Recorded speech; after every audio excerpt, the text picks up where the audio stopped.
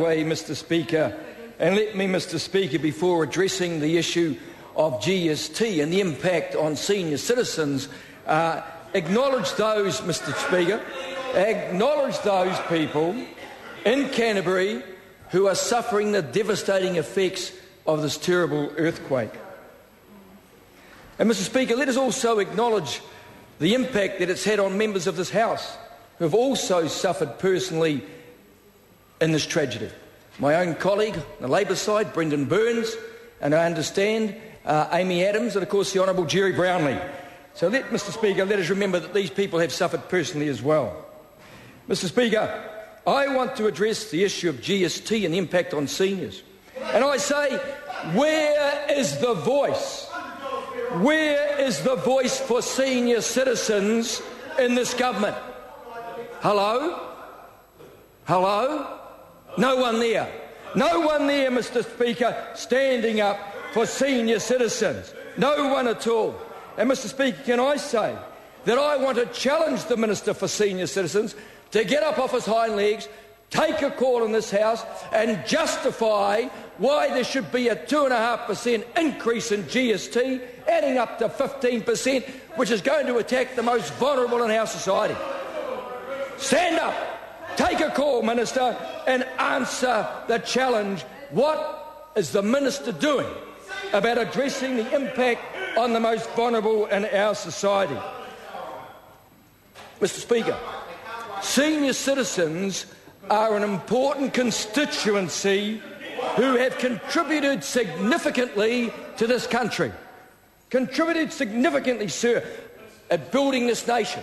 Just look around the wall, Mr. Speaker, at the plaques. Cassino, Gallipoli, Crete, just to name but a few. And Mr.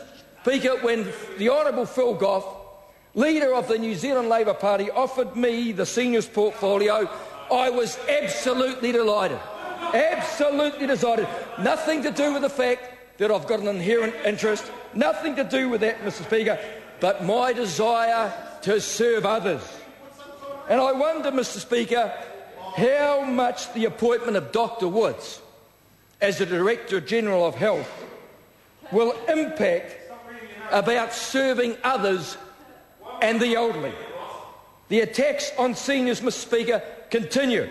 Mr. Speaker, if you go around the country and you talk to grey power groups, one of the things, one of the things that I find, Mr. Speaker, is that they are unhappy they are unhappy with the advocacy for them at the highest levels in government.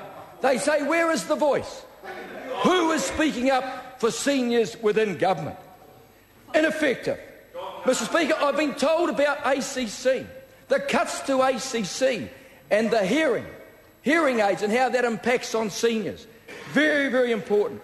We've heard today, Mr. Mr. Speaker, about the Retirement Commissioner uh, Diana Crossan. She puts a three yearly report to government, and there's, oh, I understand, Mr. Speaker, that there's uh, information in there about the possibility of raising the age for superannuation to 67. And I want to know what the Minister for Senior Citizens thinks about that. Because what we have here, Mr. Speaker, ah, uh, look, look at them, Mr. Speaker. It's obviously having some impact obviously having some impact.